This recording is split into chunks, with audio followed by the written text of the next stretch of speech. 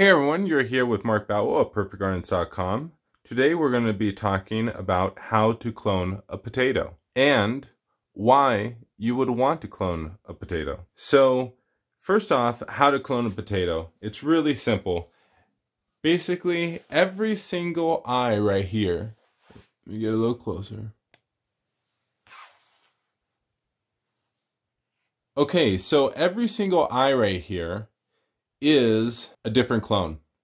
So same thing over here. I know this one looks a little different. I actually, in another video, showed a way of how to speed up the chitting process. If you haven't checked out that video, I encourage you to do that. But basically, each of these right here can be a clone. So how you do this process on cloning is all you have to do is come right here,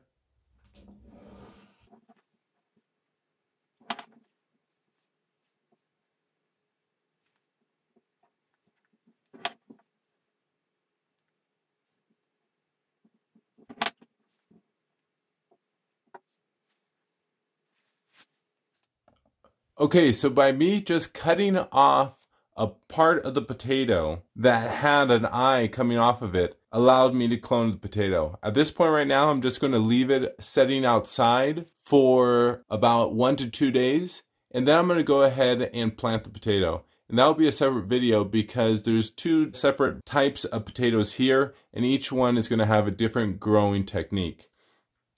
Next thing, the reason why you want to clone a potato is because you want to spread out the roots as, as sooner than later. Basically, if I took one potato and I just put it in one spot, it would take time for those roots to travel out to the rest of the pot.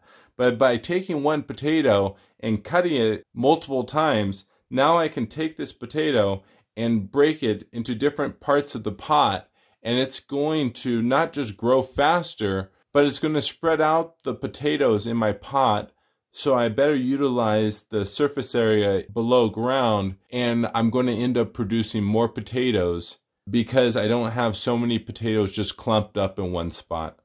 I hope this video was helpful. Please give me a thumbs up and check out the rest of the videos on our playlist around potatoes. Thank you so much and have a great grow.